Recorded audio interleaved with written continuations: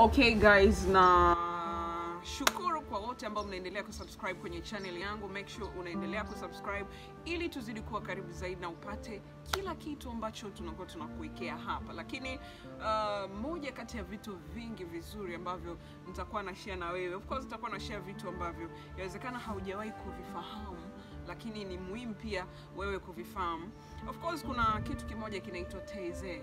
Ehe, sasa teize uh, ama TAZE ni ni, ni, ni jumuiya ama community ambayo inaunganisha watu tofauti tofauti kutoka ulimwenguni, na hii jumuiya ilianzishwa na uh, father alikuwa I mean brother alikuwa anaitwa brother Rogers ambaye yeye alianzisha kwa dhumuni la kuunganisha uh, vijana kutoka mataifa tofauti tofauti uh, kwa ajili ya kukutana, kusali, kushare experiences za vitu mbalimbali ambavyo wao wanakuwa wanakutana navyo kiimani, kufurahia eh, kujifunza vitu tofauti tofauti pale ambapo wanakutana na watu kutoka mataifa mengine ya tofauti ambao hawajawahi kukutana nao kwa namna moja ama nyingine. So TEZE imekuwa ikifanyika katika nchi mbalimbali na imekuwa ikihusisha vijana kuanzia miaka 18 mpaka 35 lakini pia hata wazee wamekuwa wakishiriki. Kuna watoto under 18 pia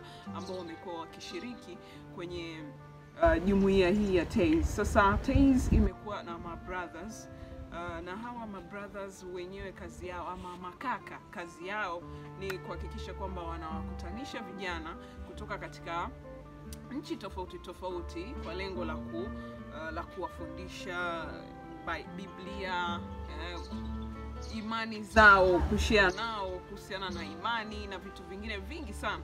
Lakini mbali na hivyo ni kwamba si tu jumuiya ambayo inawahusisha watu ambao ni Wakristo ama wenye imani ya Kikristo. Eh, ni jumuiya ambayo inahusisha mtu yoyote ambaye ana imani katika Mungu. Haimaanishi ni Mkristu, ni Mwislamu, ni nani, imradi tu unaamini kwamba kuna uwepo wa Mungu na mwisho wa siku kila kitu kinachukua nafasi yake. Sasa uh, kuna kuna mambo mengi ambayo yamekuwa yakichukua nafasi. Uh, ukienda TAZE ni kama unakwenda kuhiji.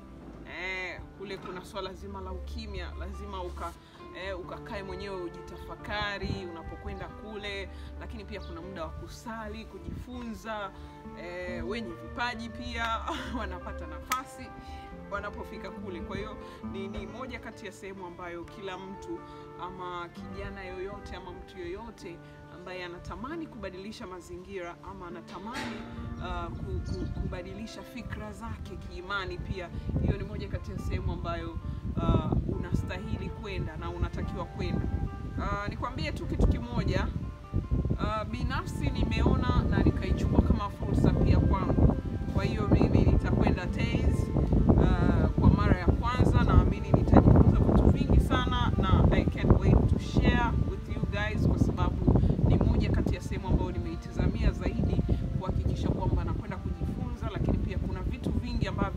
Ambavyo yawezekana vikabadilika kwenye maisha yangu baada ya mimi kwenda kule.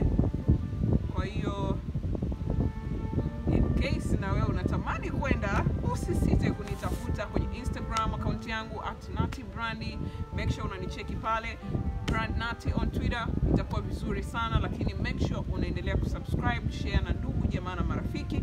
Nitakuja pia na vitu vingi sana kuhusiana na Teze, kwa hiyo make sure unazidi kuwa karibu na mimi and may God bless you and I love you so much guys.